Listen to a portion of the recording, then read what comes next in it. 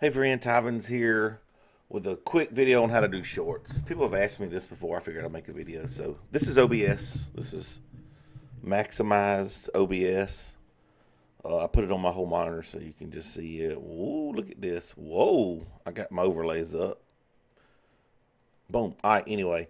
So this is OBS. Uh, this isn't a video on how to use OBS. So if you don't know how to use OBS, I guess you need to YouTube OBS. I figured everybody knew how to use it.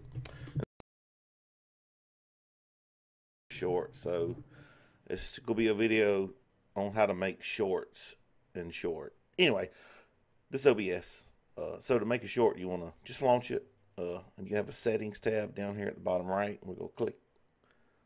We go click it. It's gonna open up this. Uh, then you'll go to video and right now I'm recording, so I can't change this. But what you want to do is change. Uh, it's just funny. It's impossible. It's impossible for me to do this live because when you hit record, you can't change this. But you just want to reverse these two numbers. So it's 1920 by 1080. You want to make it 1080 by 1920 in both of these uh, spots. Um, your video might be 1280 by 720. Uh, I'm not sure what your uh, video resolution is, but just just reverse the numbers. So you just want to make it, you know, put this number at the beginning and then this number at the beginning at the end. So you just say 1080 by 1920. Let's change that and we'll come back. All right, we've changed it. I'm also on my phone because you can't actually see this. This is the hard part. When you make a video on this, it doesn't show this, but this is what it looks like. It makes the video little like this, you see? Uh, and what you want to do now is you want to stretch the video by grabbing a corner and bringing it like this.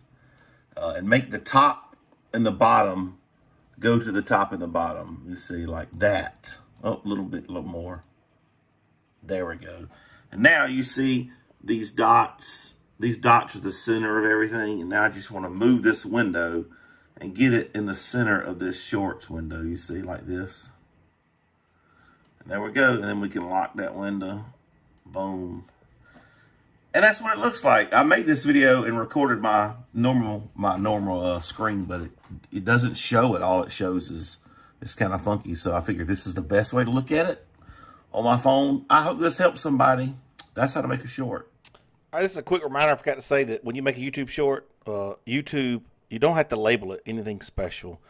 YouTube tells you to put hashtag short in the title or in the description somewhere, but they still will categorize it in a short. I don't know why. They still don't know what's going on. But anyway, the only rule is it has to be this format video, and you have to.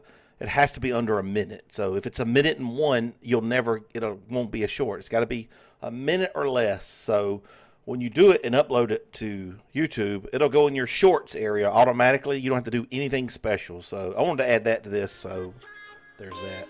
Now.